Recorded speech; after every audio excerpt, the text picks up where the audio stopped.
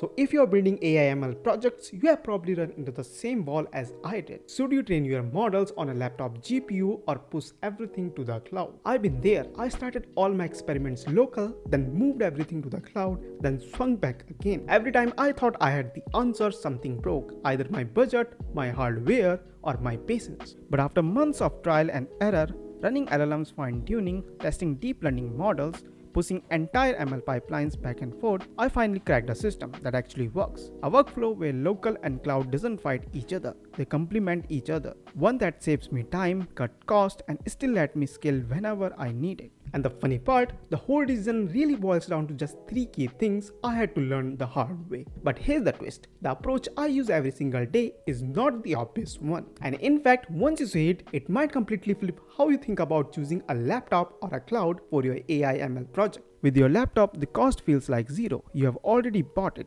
You can open it up anytime, no credit card, no waiting. But here's the catch, your GPU can overheat, throttle or flat out crash when you push it too far. The cloud feels magical, powerful GPUs in minutes, running way faster than your laptop ever could. But every time the meter's running, 5 hours of training might feels like a blink, until the bills show up. So which one is actually smarter for you? And that's actually what we are going to break down today in this video. And the best place to start is right where you are already are, your laptop is what makes your laptop so powerful for AI work. It's always there. You don't need to wait for servers to boot up or worry about the billing dashboards. If inspiration hits you at midnight, you just open your laptop, write a few lines of code and test your idea. Instant feedback, instant control. This makes laptop perfect for small datasets or prototyping. Basically testing out ideas quickly before committing to long training runs. Think training on CNNs or MNIST digits, fine-tuning our smaller models like the DistilBERT or running pre-processing steps. Your laptop eats that for breakfast. But here's the problem. Laptop GPUs usually come with limited VRAM. Some have 4GB, maybe 8GB if you're lucky. Compare that to cloud GPUs with 40, 80 or even 96GB of VRAM. Once you hit those memory limits, your training either slows down to a crawl or doesn't even start. That's when frustration kicks in. And let's not forget, laptops aren't built for 12 hours training sessions. Overheating causes thermal throttling, your GPU slows itself down to avoid damage, you can literally watch your training times double just because your laptop is getting too hot. So how do you squeeze more out of your laptop before throwing in the towel? You have got some tricks. Use mixed precision training, basically half precision math that uses less memory and speed things up. Lower your batch size so your GPU can fit more data into the VRAM or offload certain tasks like data pre-processing to your CPU. Little tweaks like these can make your laptop feel way more capable than it looks on paper. But let's be real, when your models get bigger than your laptop's memory, no tricks will save you. And that's when it's time to look at the cloud. So let's talk about the cloud. Imagine this, you have a model that takes 10 hours to train on your laptop. On the cloud, the same job finishes in just 45 minutes. That's not just faster, it's a difference between testing a one idea per day and testing 10. That's the beauty of cloud GPUs. You get access to high-end hardwares like the NVIDIA A100, V100 or even cluster of multiple GPUs without dropping thousands of dollars upfront. And since most of providers charges by hour, you are only paying for what you use. It feels like a cheat code, unlimited power on demand. But here's the downside and it's the big one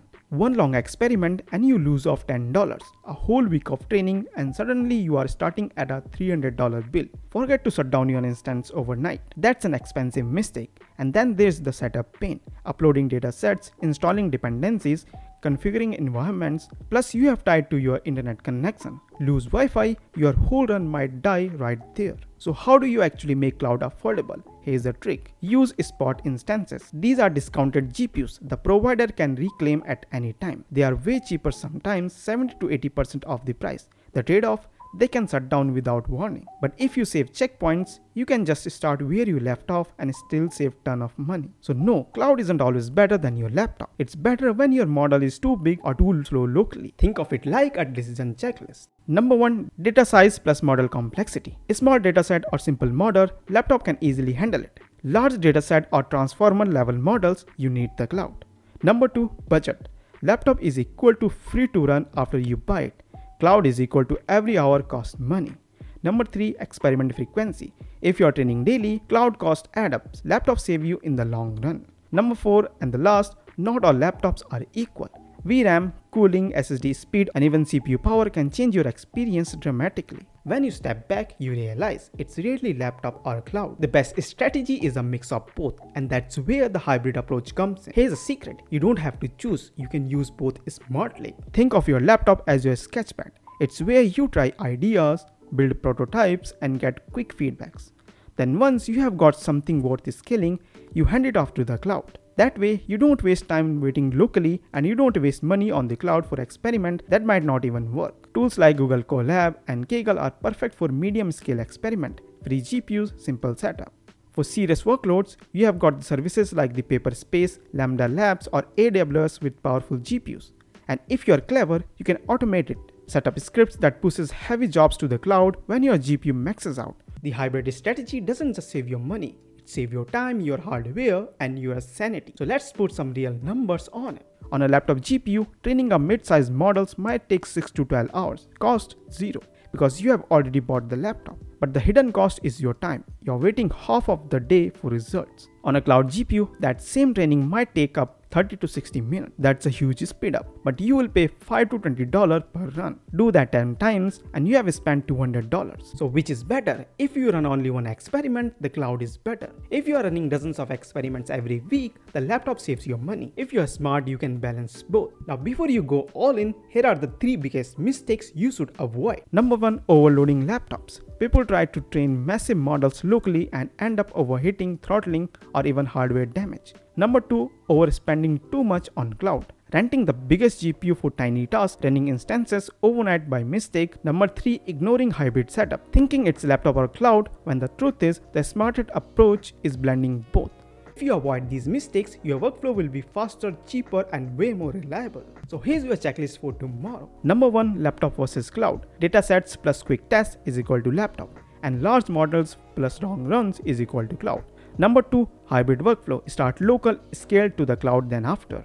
Number 3. Optimize smartly. On laptops, use mixed precision technique plus smaller batch sizes. On the cloud, spot instances plus checkpointing. Number 4. Plan ahead. Know your datasets, know your model and estimate your runs before you start. Follow this and you won't just save hours and dollars, you will actually enjoy building AI and stop fighting your hardware. Now I want to hear from you. Which setup do you use? Laptop or cloud or a mix of both? Drop a comment below and I would love to hear about your workflow and any tips you have discovered. By the way, I've also added Amazon's best buying link down below in the description box to the laptop I would actually buy if I was starting AI ML today. The one that balances GPU power and the most important important, the price. Also, I put together a cheat sheet to help you optimize your workflow, whether you are sticking to a laptop going all into the cloud or doing the hybrid approach. Grab it now and make your experiment faster, smoother and cheaper. Remember, choosing the right setup isn't just about raw power, it's about working smarter, saving money and getting results without burning through your budget.